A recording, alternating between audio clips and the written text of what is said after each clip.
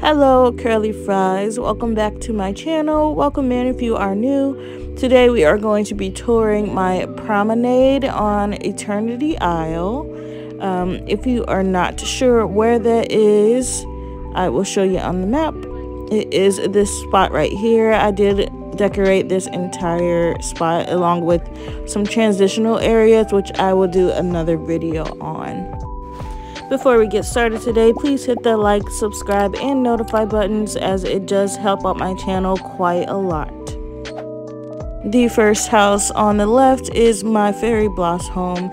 I did do a speed build on this build. Um, I will link it in the description below and it'll be at the end of the video if you want to watch.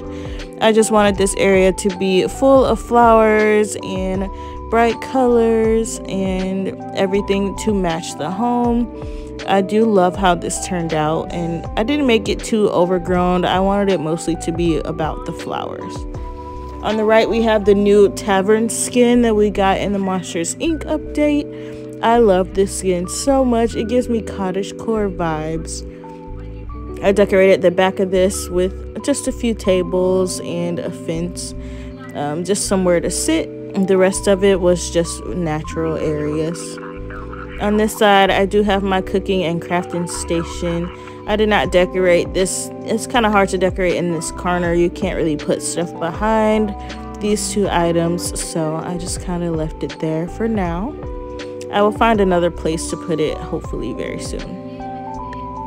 And then we go around this way. I put my purple cottage I put Gaston's house, and I also put the library skin that we also got in the Monsters Inc. update.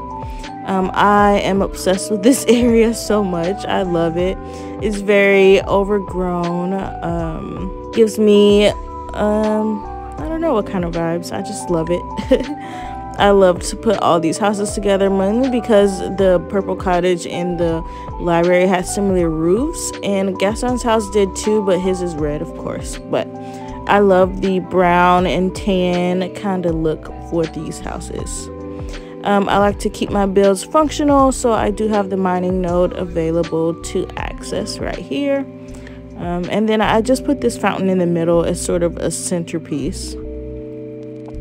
Um, I got some recycling bins over here and a picnic blanket. Um, and that's about it for this area.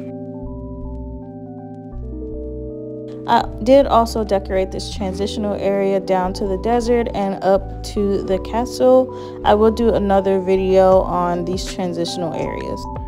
I was so excited to finally get a part of my Eternity Isle done, an entire section of it. So hopefully we can get some done in the future. I am going to walk around this build at night so you can see how the lights glow. Thank you all so much for watching and I hope you have a great day.